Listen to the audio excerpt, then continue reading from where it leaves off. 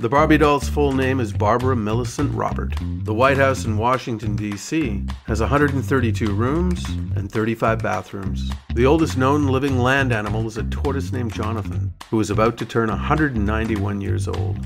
The tallest man ever recorded was American Robert Wadlow, who stood 8 feet and 11 inches. At medieval times dinner attractions, you can eat with your hands because people didn't use utensils in the Middle Ages. The Earl of Sandwich, John Montagu, who lived in the 1700s, reportedly invented the sandwich so he wouldn't leave his gambling table to eat.